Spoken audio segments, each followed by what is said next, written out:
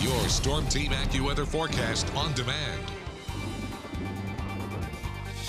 And there's that seven day forecast for you. You'll see that we're in those mid 90s for us for our Sunday, keeping with that sunshine as we start off our work week as well. But you'll notice, look at those temperatures slowly getting back up into those upper 90s by about Tuesday, hitting the triple digits by Wednesday and Thursday getting back down into those mid 90s by about Friday and Saturday, remaining mostly sunny, but then a slight chance of rain heading into the end of the week.